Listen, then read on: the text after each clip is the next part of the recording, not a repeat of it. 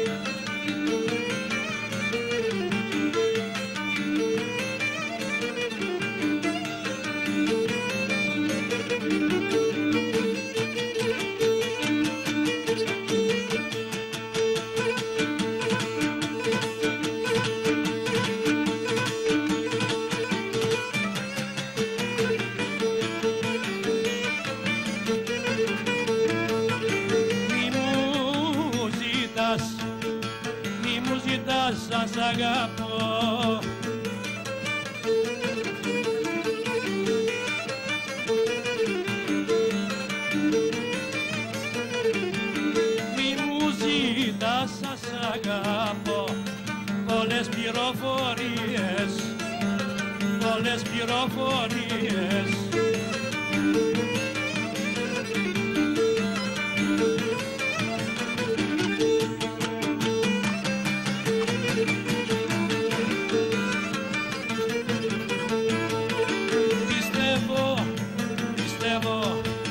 Πιστεύω, να καταλαβαίνεις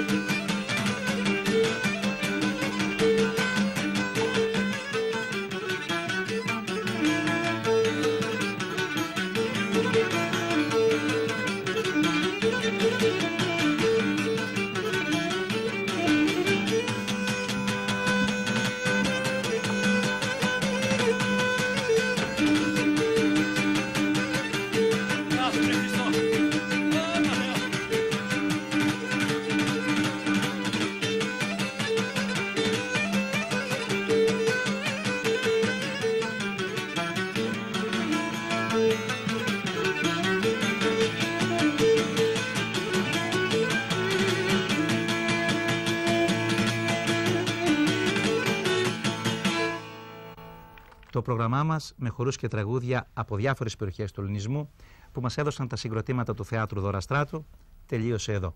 Οι συνεργάτες μου και εγώ ευχαριστούμε το Διοικητικό Συμβούλιο του Θεάτρου και ιδιαίτερα τον πρόεδρό του, καθηγήτη κ. Αλκεράπτη, για τη συμβολή του στην πραγματοποίηση της σημερινής εκπομπής. Ευχαριστούμε και εσάς που μας παρακολουθήσατε. Χαίρετε.